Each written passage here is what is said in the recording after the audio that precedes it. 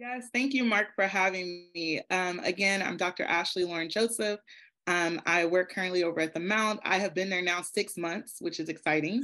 Um, and I've come out of the CSU system. So working at Cal State LA, Cal Poly Pomona, um, and been in higher ed now since my undergraduate days of being the extra involved student. Um, and it's just become a passion of mine. So super excited to be here with y'all. Explain extra involved student. I've not heard yes. that before. What does that mean? So um, I went to the University of La Verne, go Leos. Um, and during my undergrad years, it was this um, type of influence and mentorship that was ha- happening with staff members on campus and with the entering class. So I came out of high school in 2004, started college in fall of 2004, where it was you need to join a club, you need to be a part of co-curricular, co-curricular um, advancement on campus. You need to be helping with uh, sports and athletics. Um, if that might not be your area, you need to be in the library working. You need to have a work study job. So I was a part of a little bit of everything. So BSU president, BSU being Black Student Union, at the time it was ASA. Um, I was even the videographer for the track and field team um, because I was not athletic, but my friends were, and I didn't want to be just hanging out in the dorms on a Saturday. So I would go with them. I was a resident assistant. Um, I had two jobs on campus, one work study, one non-work study. Um, I ended up becoming a Greek with Alpha Kappa Alpha Sorority Incorporated.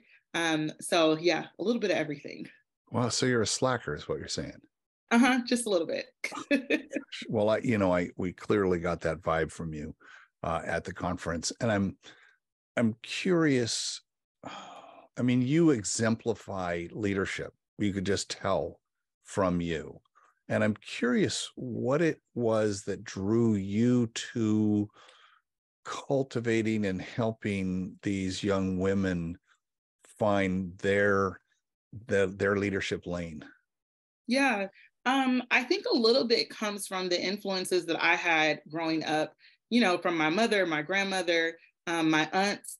Um, and all of these people were in helping fields so very much oh. so uh, values based so my mom owned her own daycare center where you know she had 14 children running around and she was cultivating these young people's minds. Um, i had aunts that had their own businesses uh, throughout the years and same thing with uncles and my dad. Um, and so moving into high school although i was slightly involved i was still very much so in my community volunteering and that kind of thing um, and I had actually made a plan that I was going to be a high school guidance counselor um, oh. because my guidance counselor was so awesome. She yeah. was actually my college counselor, Mrs. Lisa Golden over at King Drew.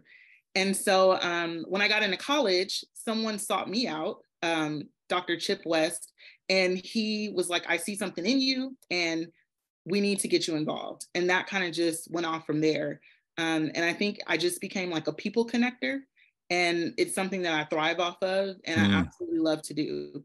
Um, which then of course flows into mentoring and all that kind of stuff.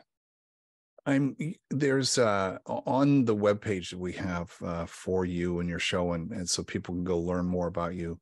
You talk about this thing called social change leadership and it it looks like in 1994 this social change model was was kind of put out there and you thought it was important enough for us to to link to it. Tell us about that and, and how that's yeah. important in your work. Yeah, so at the Mount, um, and this might help with context too, a little bit about my role there. So, as the director of women's leadership, Mount St. Mary's University, Los Angeles is a women's institution, the only one in LA County. Um, and we have two campuses, Doheny, which many folks that live in LA have probably seen down off uh, Adams, and then the other being in Brentwood, um, the Chalon campus. And so we have such a dynamic group of women from all different backgrounds, all different beliefs, although it is historically a Catholic institution. Um, and so the social change model really speaks to how I like to transform leaders. And hmm. so I've been doing this since I was at Cal State LA um, my supervisor then, Marcus Rodriguez, who I actually um, saw during the conference that I was at this week, um, Marcus introduced this model to me. And he was like, you know, when it comes to student change and leading advocacy efforts, programming, this model really speaks to the values based work that we do. And so, um, as I've gotten through the field and changed jobs and met new students, it just always comes back to the same thing. Mm um, and the idea that it connects the individual, the group, and the community, which most leadership models don't necessarily do all three of those. Um, and then that's what creates that change. And it can go in any direction. So I always think that it's really, um, it really notes how we work with students and how students can work with their environment that they're in. I, I'm thinking back to my days as a student, and we were very rebellious. It was a different time, very different time. And I'm I'm curious how the students are looking at leadership now and how you're helping guide them through maybe some obvious leadership questions they have right now. Yeah, um, I think, and especially this is coming off of COVID quarantine, Zooming 24 7. So this is a very, very different group than I've ever had before. Mm.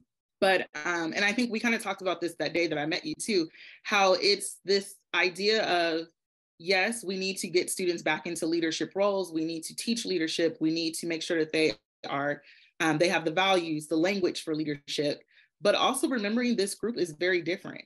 And so they're not going to learn the same as five years ago or heck, even three years ago. Um, and so, students right now, the question is how do I become a leader? How do I remain a leader because mm. of retention and life things that are happening around them? Um, and then, how do I have the confidence to share my leadership qualities in these clubs, organizations, whatever I'm involved in? Um, I run a group called the Leadership Scholars at Mount St. Mary's, and it's um, actually one of the oldest leadership scholars programs for women in the state. And so this program is cohort based. Students kind of move through it with a group, which is awesome. Individually, I meet with them and I always ask them, like, what can I help you build on? What can I help you develop in? 95% of the time, they say, my confidence. Mm. Which is crazy to me because I'm like, you're involved in all these things. I see the confidence spewing out of you, but they don't see it like that. Um, and so recently we started doing like more um, confidence development, speech classes, um, self-care, self-awareness, um, and those type of things to build on their skill set.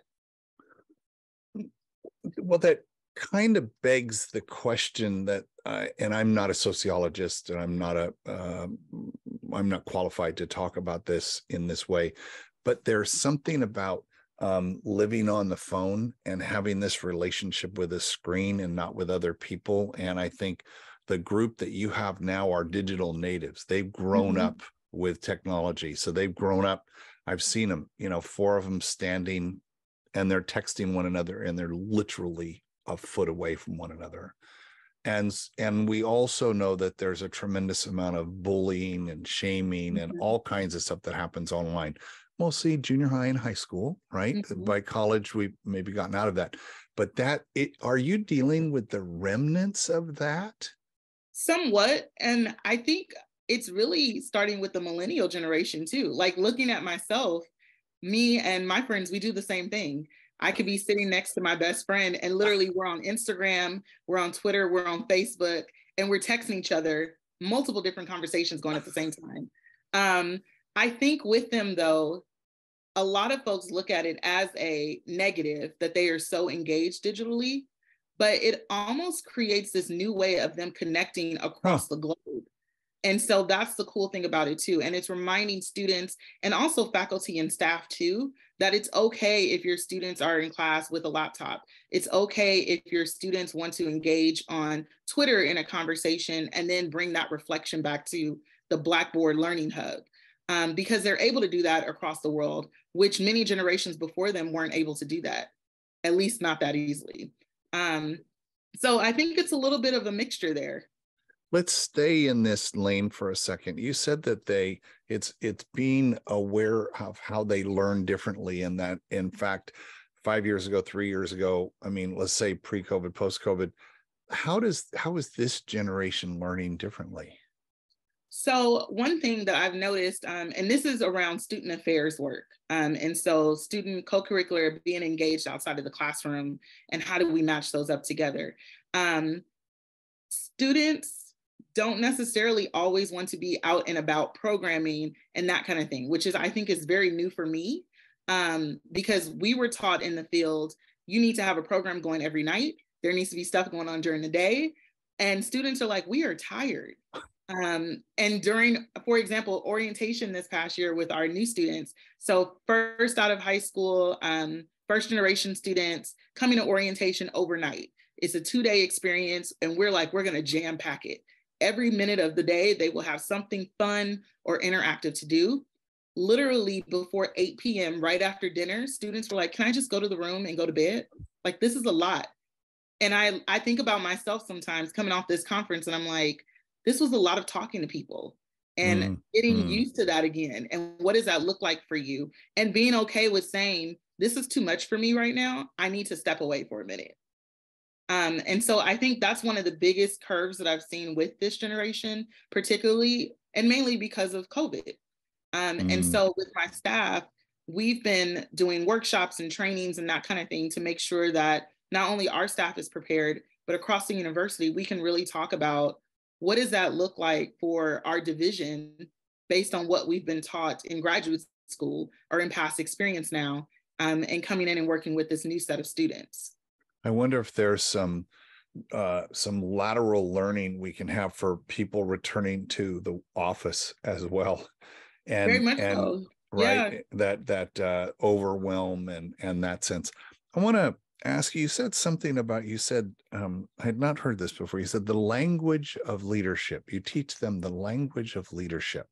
Give yeah. me some examples of that. Yeah. So a few years ago, I was at a conference and I went to this um, workshop and they were talking about career exploration with students, but it wasn't the traditional, you know, how do we get students in internships and in the job field?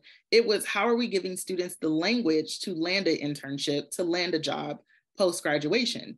And I was mm-hmm. like, what do you mean the language? And when data came in about it, it was saying that students, they're highly involved like overly involved half of the time. Um, they're getting awesome grades, they're studying abroad, but they don't have the language to share how these experiences will make them the best fit for a position. And so it also comes back to leadership too. If I ask a student, Are you a leader? Well, yeah, I am. Okay, what do you do? And they're not able to fully explain that and be confident in that. Um, so it was one, actually one of the points of reasons why I ended up at the Mount um, I was talking to the VPSA over there, and she was telling me a part of my job was leading the framework for the university around Mount Leads, which is the leadership framework that they use. Um, it was created at the university to help give students the language that they need and um, the connections across different departments, including the academic world too, on how leadership crosses all these different paths. Um, and so, no matter where you are at the university, you are part of the leadership hub of campus. So I'm imagining you're matriculating these students out into the workforce, out into and and there are there are junior leaders. I mean, they're the ones mm-hmm. that that are coming out that we now we're going to get some experience in them and we're going to give them jobs and they're going to work their their way up. Um, the lang the cultural language has changed significantly in the last mm-hmm. two or three years around diversity, equity, and inclusion. And I'm curious um, w- where that fits because I think you know me, I represent the the old guard, had a had a language, and and that doesn't necessarily work in the workplace today or work you know in in the classroom today. How much of an emphasis are you placing on uh, DEI kind of languaging? Yeah, I think it's a huge deal. Um, I mean, you can even see in my name, I have my um, pronouns there. Like that's the norm for us right now, which is awesome. And so I think it's twofold. So, one is teaching my staff that yes, we have to continue to develop. And so, even myself, where, you know, some folks might say, Ashley, you're such an expert in X, Y, and Z. And I'm like, eh, I still have some work to do there. Um, so making sure that I'm continually developing in that area, but then also making sure that students are continuing to develop as well. So right now I um, advise Student Government Association, and I mm. probably mm. see them the most out of all of my student groups that I uh, see. And I learn every day something new, whether it be around language, whether it's around pronouns, whether it's about um, equity issues happening in the city or in the areas that they come from and it's so exciting and if i have questions being able to have somebody that i can go to to even ask those and be in a comfortable space. Um, and I hope that students feel the same when they're in my space and in my office as well. Um, help me understand why when you cross and imagine this line, uh, that there seems to be such a um, kind of instant i'm going to correct you. It, it's you know the joke is okay boomer you know? I mean not to me i'm trying to be as inclusive as i can but we we see a lot of that conflict. How do you yeah. what, what what's your coaching around that for students? Yeah um i think one of it one of them is giving people grace but also uh, not letting people just do what they want. Like fair enough. Fair enough. If I'm telling you I am this person and this is what I want you to call me, and you go and do something completely different. And I always tell them you can always tell when it's malintentions with someone. Mm. Um, and hmm. so even as a staff, when we're talking to other faculty and staff on campus, and even when we go to our um, our EDJ events and stuff on campus, um, everyone is always really good at remembering this is a learning space. Mm-hmm. And so things will always happen. Things might be said out of turn, things might be said that are completely incorrect, and that's okay. But ignorance doesn't have to stay in the zone of ignorance. Like we can get out of that. Yeah. Um, and so also reminding them that everyone is ignorant to something. And it's the hope that you will figure out what that is and climb out of that part of what you're talking about you were talking about student government and you you're involved in that and you were involved in that in your own college career. And i'm guessing that a lot of people that are in student government think like this would be a great precursor to uh, politics or public administration you know writ large. Um, do you see that students are wanting and i'm looking for a short answer here uh, wanting to go into politics now or or are they kind of reticent? Um i think it depends on the school that they're at and i think it depends on the area that they live in. My ah. students at cal state la were uh, like i would say about that life and so they knew where they were going. Um, and out of that we got the mayor of alhambra um, sasha uh, perez was one of my former students, and she became one of the youngest mayors of that area. Wow. Mount Actually, with with a with a mentor like you, these these women are destined for success. Thanks for helping us understand this so much better. No, thank you.